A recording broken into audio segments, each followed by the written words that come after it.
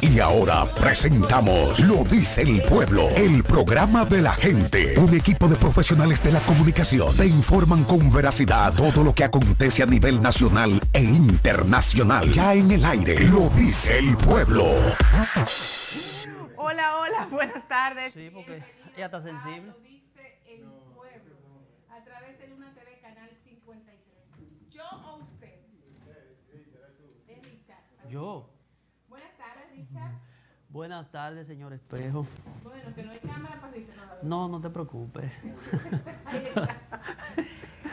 Buenas tardes, amables televidentes. Una vez más, sean bienvenidos, lo dice el pueblo, a través de Luna TV, canal 53, que es el canal de los campeones.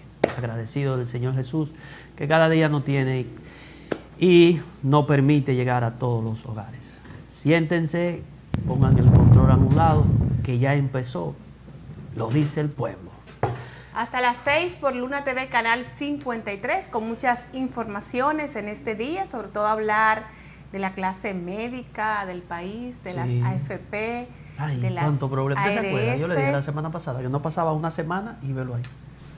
Bueno, es que, es que lo que pasa con las ARS, sobre todo en el país, Dios. nunca se acaba. Mm. Entonces, yo creo que esta lucha eh, no se la podemos dejar solo a los médicos.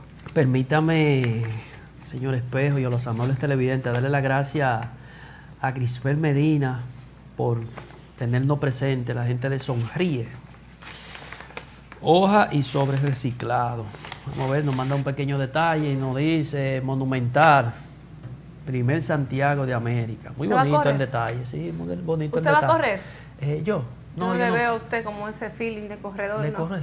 No. Acuérdese, no que la, veo, acuérdese que la apariencia engaña. Sí, también es cierto. Gracias a la gente de. Sonríe, la buena amiga Grisbel. Sonríete. Sí, la buena amiga Grisbel Medina por tenernos presente, siempre haciendo cosas buenas y parece que nos sintonicen, lo dice el pueblo, muy chulo. Eso eh, dice que no ve. Gracias a los amigos de Sonríe. Iniciamos de una vez. Mire, dice el canciller en, en- en Perú. El canciller nuestro. Sí, el canciller de nosotros parece que está en Perú, gozando la buena vida. Dice, el canciller afirma que la OEA, que se, necesita claridad sobre el gobierno haitiano, sobre la ayuda que solicita la comunidad internacional. Siguen los problemas, nadie quiere solucionar ese problema de Haití.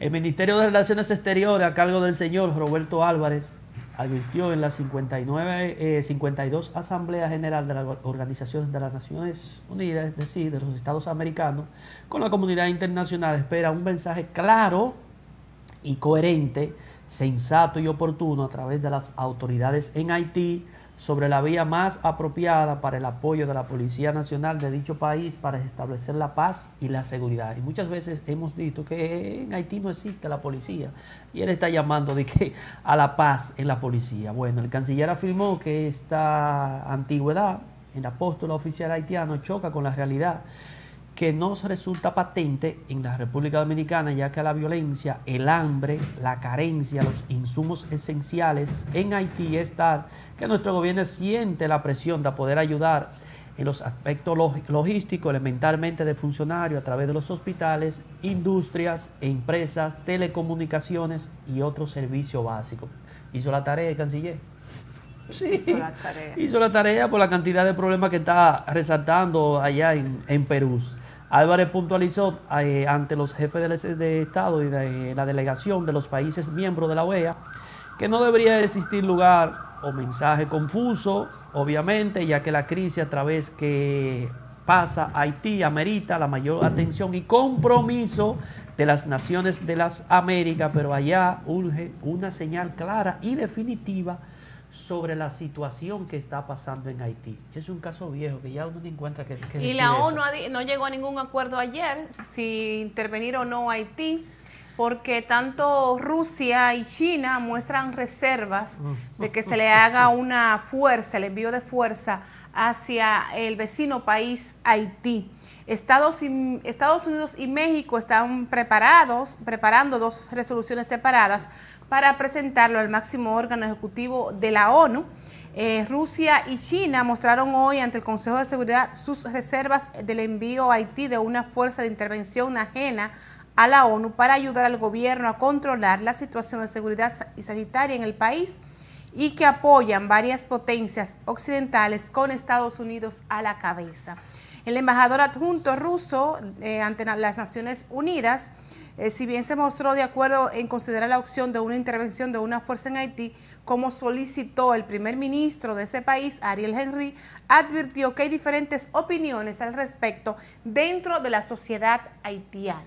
Lo que Rusia y China alegan es que como en Haití están separados, o sea, una parte sí está de acuerdo con que se intervenga con una fuerza militar eh, enviada por la ONU, Estados Unidos y estos países que lo conforman, eh, otros no están de acuerdo. Entonces, Rusia tan democrático y China también tan democrático, que son ambos, eh, no quieren que se haga esto si hay otras personas que están en ese acuerdo. Las dificultades que tiene ese país. Si hubiera uranio, si hubiera oro, si hubiera petróleo, si hubiera gran cantidades de recursos minerales, si hubiera tierras raras, ya hace años que estuviera intervenido, estuvieran explotando Haití más de lo que ha pasado. No valió la pena que Haití se independizara, el primer país negro en el mundo en independizarse y viene todas las dificultades. Y en conclusión, la falta de eh, combustible imposibilita el acceso al agua potable. ¿Y cuál es agua potable? Dificulta el transporte pacientes en centros de salud, impide los trabajos para contemplar a través de las enfermedades, los contagios, la dificultad de producción, distribución de alimentos, lo poco que queda, en un país que sufre una aguda emergencia alimentaria y una salud pública deprimente, agregó el, nuestro canciller Roberto Álvarez. Bueno, ahí está, señores. Lo mismo de este, siempre. Este tema. Ayer eh, los militares decíamos que recorrieron eh, la frontera donde se hace el mercado binacional, la frontera en Dajabón, dominicana con la tienda Dajabón. Entonces, en el día eh, de hoy se dice que este recorrido de militares estadounidenses por la frontera es rutinario, según dice el CESFRON. Pero no querían decir nada. El Cuerpo Especializado en Seguridad Fronteriza Terrestre, CESFRON, aseguró que el recorrido realizado ayer por los militares estadounidenses es algo rutinario. Desde el Cuerpo Castrense de la República Dominicana dicen que soldados de los Estados Unidos se recorren con frecuencia la frontera dominico-haitiana. Descartan que su visita en el área tenga que ver con la solicitud del gobierno de Haití sobre ayuda militar internacional para hacer frente a la inseguridad como a la crisis social y política que afecta a Haití. ¿Usted cree que es verdad? Pero mira, dice... Qué raro que nunca se había sabido de que después que ya Estados Unidos salió de Haití hace un tiempo, hace unos años, que ellos hicieran ese recorrido. Pero es la, creo, que, creo que van 10 o 12 veces que Estados Unidos interviene y alguien en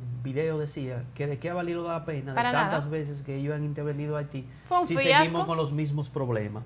Entre los soldados que están, dice ahí, se realiza el recorrido, está el, agregado de defensa, teniente general coronel Grant Johnson, el agregado del ejército y la Fuerza Aérea de los Estados Unidos.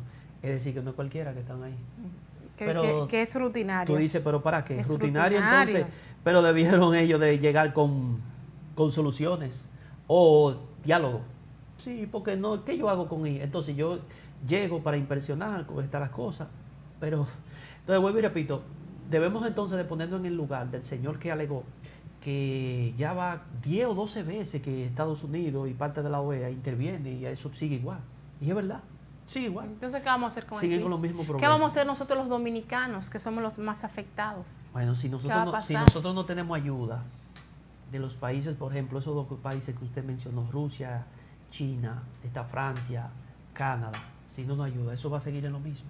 Bueno. O ahí se instala un gobierno provisional de alguien, de uno de esos, de un país, eso que está ahí, Francia, China, ese yo, el país que decida, y empiece. El problema es que eso no es de hoy a mañana. Eso es un problema que tarda mucho tiempo, mucho tiempo. Y hace mucho que viene con esta problemática, meses, ya cuando, ¿verdad? De, los años 84. Sí, pero de esta forma ahora la violencia que hay en Haití, sin embargo, ahora es que están comenzando a despertar.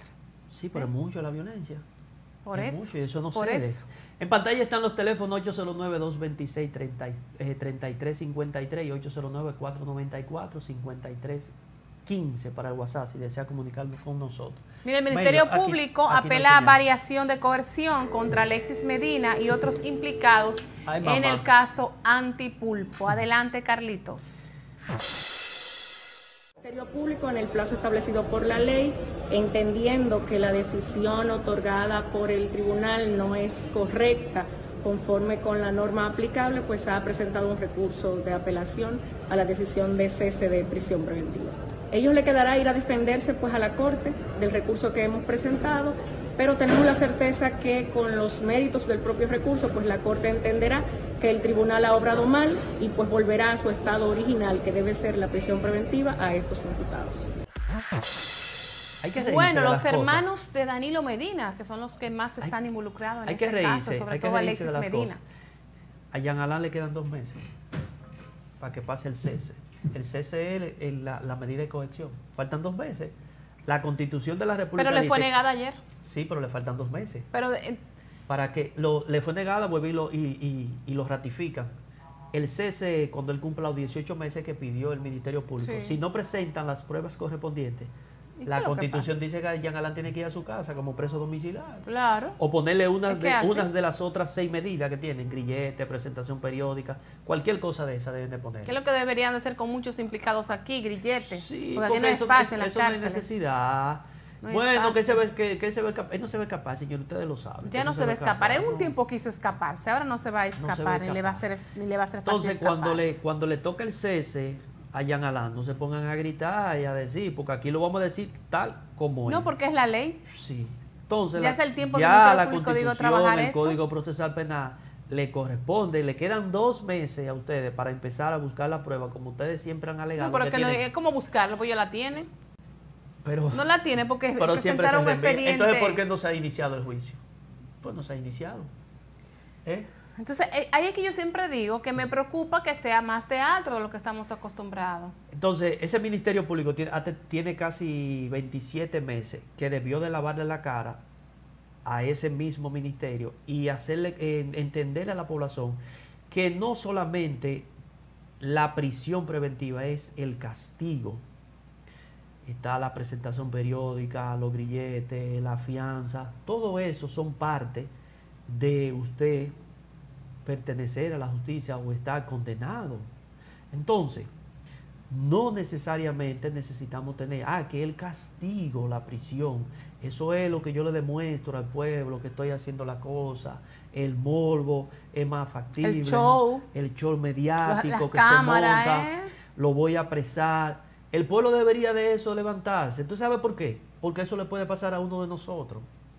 Sí, el Ministerio Público quiere pedir 18 meses y usted dura... eh, eh, No, no, no que no puede pasar. Hay mucha gente sin ser político, porque eso lo sabemos porque fue un exfuncionario, un exprocurador. Sí, pero no puede pasar hay- de Aquí hay muchos infelices que no tienen 18 meses, tienen hasta dos años detenido y no se le ha procesado, pero Claro. no tienen a quién gritarle. A quién, a quién ¿eh? defenderse. no tiene nadie que le duela. Entonces yo no me canso de decir que nosotros apresamos para después investigar, que debería ser lo contrario. Investigar Tanto que imitan aquí a los gringos, eh, ¿eh? para después, sí, pero la que los gringos Deberían de cuando, los imitar gringos ahí a cuando los gringos apresan es por eso mismo, por eso cosas. mismo, deberían imitar ahí.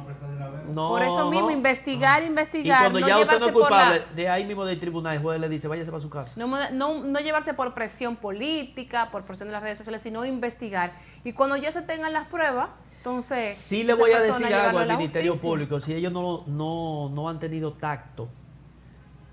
Todo eso que ustedes mencionan, que armaron el último muñeco en un expediente como de ese tamaño, así vea. Dos Eso- meses se va a durar con el antipulpo Ajá. en el juicio, presentando todas las pruebas. Eso no, Jean Alain, que yo no sé, ni soy abogado de él, ni tengo por qué defenderlo. Jean Alain, ustedes lo saben, no actuó solo, si eso es verdad, porque es inocente hasta que se demuestre lo contrario. Eso Yo siento como que lo dejaron solo, la gente de su partido. Sin embargo, miren lo que pasó con Alexis Medina, que aunque ahora el Ministerio Público diga que va a apelar, A no. apelar. Dice eh, el... ¿Y usted cree que que salió vuelve a entrar? Ah, sí. ¿Eh? No. eso es difícil. Entonces vuelvo y le digo, miren, Jean Alain no actuó solo, ustedes lo saben, que ese engranaje de Jean Alain, eso no es solo. No nos quieran coger de tontos eh, eh, útiles, que no lo somos tontos útiles. Jean Alain, con todo lo que ustedes Que mencionan, solo ahí, es que solo no lo iba a no iba a actuar No solo. iba a hacer Ahí había una cabeza más grande. Y Tengo yo que alrededor. lo, que, que lo investiguen. No, ustedes están para eso. Es que ahí no quieren llegar. Ajá. A esa y cabeza. entonces, ah, pues que estamos como Yo creo ustedes que hasta negociaciones están haciendo con esas cabezas. Pero debería de ser mejor si se le quita el dinero, porque yo no hago nada con tener a ese preso ahí. Si vamos a decir una cifra, eh, 300 millones, pues yo prefiero los 300 millones y que usted se vaya para su casa. Y con eso yo por lo menos hago escuela y hago John hospitales. Alain dice que él quiere, prefiere morir en la cárcel que le dé la libertad por enfermarse. Que estuvo con problemas renales hace unos días, eh, dos días creo que estuvo en un centro de salud y no quiso que eso se supiera porque él dice que prefiere morir en la cárcel que le den la libertad por enfermedad. Él quiere que le den la libertad porque entiendan que como manda la ley. Que- es lo que dice el ex procurador. Qué inocente. Que él es procurador. O por lo menos que le cambien la medida de coerción. Porque inocente se supone que no va a ser inocente. No, pues yo le acabo de decir a ustedes que eso que se menciona ahí no es solo. Eso no es solo. Señor Espejo, eso no es solo. No, claro que no, sabemos que no. Entonces, Hay muchos presos también por él. Nada Manuel que está preso por el caso Medusa. pero como usted dice, Pero más pequeño que él. entonces está cogiendo la, la, la, la- la coca solo. Está cogiendo Tal vez era en la cabeza. Hemos que a la pausa. Comerciales, regresamos con más información en breve.